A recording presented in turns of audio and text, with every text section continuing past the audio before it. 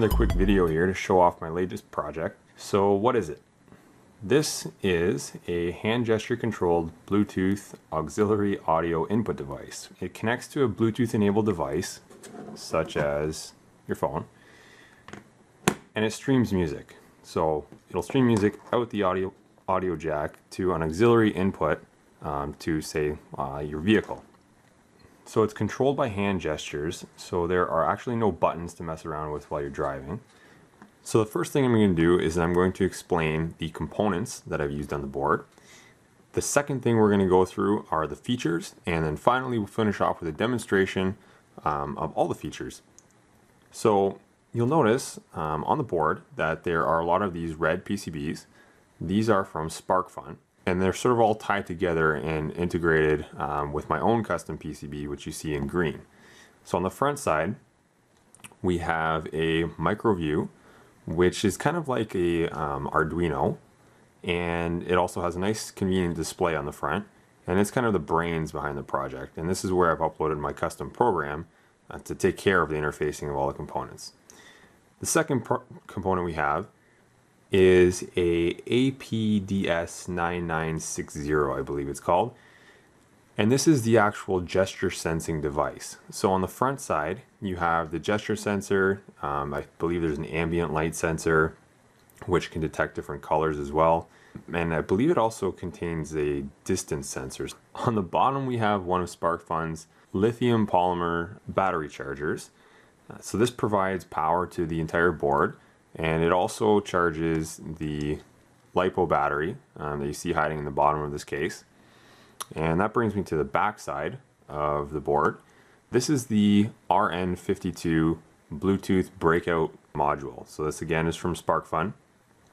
And I believe the uh, RN52 chip is from Roving Networks. And this is the Bluetooth antenna and Bluetooth module, and it controls um, the interface between this board and say your smartphone or whatever Bluetooth device that you're connecting it to. Okay, so now I'm going to explain the features of this thing. So a lot of the features are actually based on the RN52 uh, Bluetooth module at the back, and it allows you to control music. So you can go to the next track, previous track, volume up, volume down, and then it creates that audio gateway to allow you to basically connect an auxiliary device and play music out of its speakers. So that's you know the main function of this device.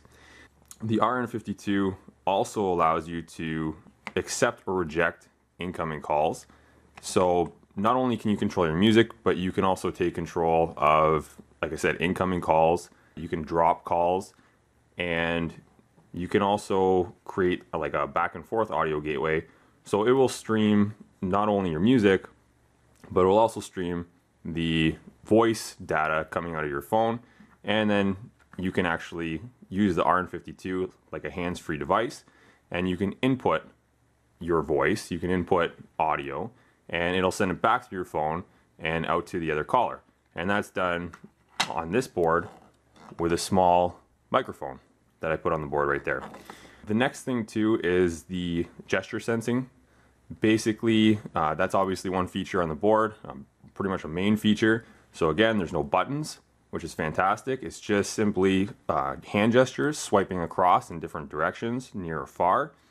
Another great thing about this gesture sensing chip is the ability to sense ambient light levels. One of the things that I used it for was basically just upon startup, it'll detect the ambient light setting. And if it's dark outside or in your car or wherever you may be, I have a few LED lights here and it'll actually light them up um, just so that the board and the whole device is easier to see while you're trying to use it. The case, I don't know if you noticed, I've, I've kind of 3D printed a little case for it. So that's the bottom side. It has a clear top side as well. And the other great feature is the MicroView display at the top. So it's a little LED display. It's fully programmable and I can pretty much put on anything I want on the screen. Um, but it's a nice little feature too because uh, the chip is actually removable. So I have it on female header pins and I can pull it out, remove it from the board, and I can program it um, with the with the appropriate programmer, which I have here. So I designed the top side of the case. uh, to slide over everything. Okay, so with the top side of the case on, I can still remove or insert the uh, microview chip and then you have a nicely packaged case. Uh, you'll see the switch to turn it on there. And lastly, uh, another great little feature is the ability to charge with uh, micro USB. Okay, so finally I'd like to do a quick demonstration of how this thing works. So the first thing you do if you need to connect some sort of audio cable. So up at the top, there's a little jack, connect it, simple as that. Next thing you're gonna do is you're gonna grab your smartphone or whatever it may be, in my case an iPhone, and you're gonna make sure the Bluetooth is enabled. So you'll see a little icon up there, Bluetooth is on. And you'll see that it's not playing right now. So what I'm gonna do is I'm gonna turn this guy on. So as you can see, he's on, screen's on, and it's basically showing you your options. So swipe up is volume up, swipe down is volume down, left and right change pre previous tracks or the next track. And then if you go a near swipe or a far swipe, it'll be pause or play. So let's get this thing going. So I'm gonna go a near swipe. And you'll notice that the Bluetooth is now connected. Oh, there you go. See, it's connected and it's playing. And now I'm just going to demonstrate switching to the next song. So we're going to swipe across the device and it's changed to the next song. And we'll try that again to the next and to the next song. Okay, so that's really easy to do. I'm not actually playing the music out loud because of YouTube's copyright uh, protection. I don't know if playing that music will get this video taken down or not. So it's just for demonstration purposes. Um, but you'll also notice as I swipe up, if you pay attention to the screen here, swipe up, it'll say volume up, swipe down, try that again, volume down. Um, so it works quite well. And then we can again pause or play. So you'll notice that it did pause the music and we can play it as well. We can go any direction like this, up or down. And there you go, it started playing again. Okay, so now I'm going to demonstrate with the music playing. Uh, right now you'll notice that it's playing.